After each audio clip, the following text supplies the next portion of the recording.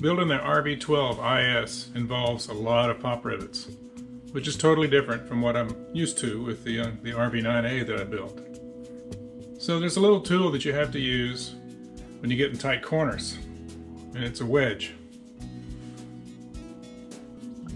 The wedges you use for doing these pop rivets in tight corners are they're made from the trailing edge long strip of, of aluminum that uh, goes in like the the flaps and the uh, horizontal stabilizer, the uh, elevators.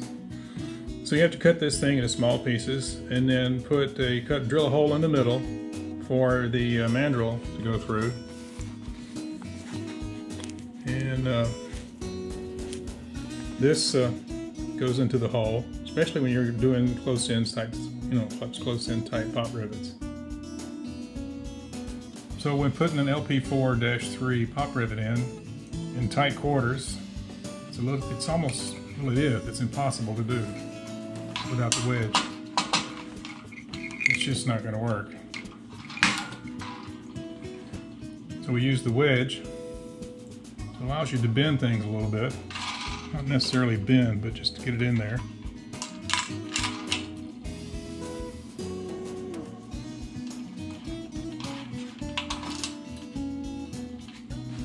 So the wedge is positioned to where you can get in there and actually pull down on the uh, mandrel to make the uh, proper.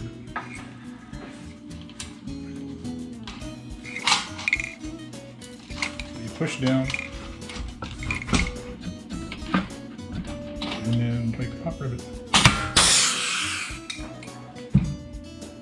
Your first impression is, oh my god, I screwed up. But then there it is. Not bad.